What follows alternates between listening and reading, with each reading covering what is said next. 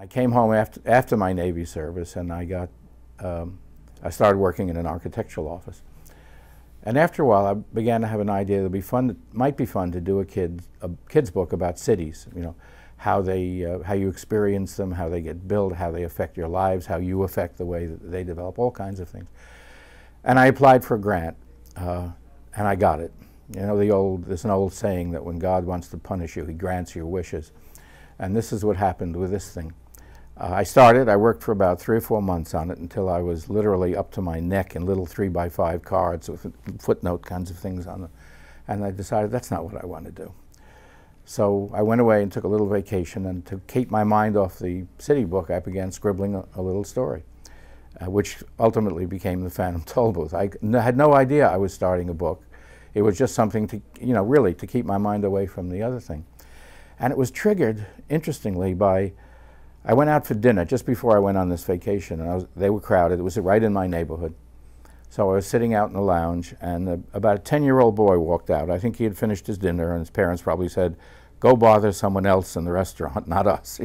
he came out, sat next to me, and he looked at me and said, What's the biggest number there is? So I said, Well, what do you think?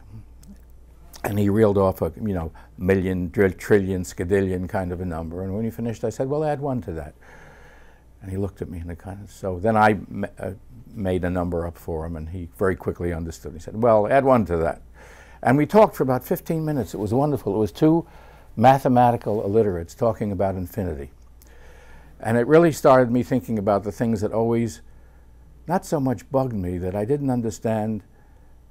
I understood them somewhat conceptually, but I didn't understand why they were there at all. I mean, why we had to concern ourselves with things like that.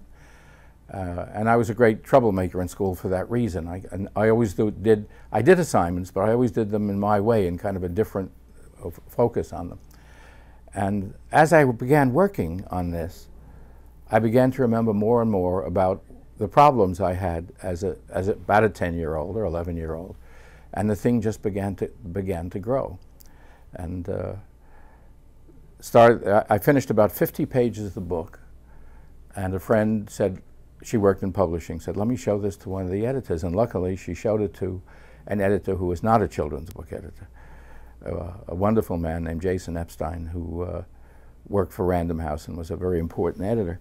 And at that time, he was producing a series of books, reprints from classic children's literature, mostly English, and putting them out in this country. Uh, and there was a bit of a disaster because the books were much too literate for the age groups that they were meant for in this country. We had, that was a stage in the early 1960s where we were very busy dumbing down books as fast as we could.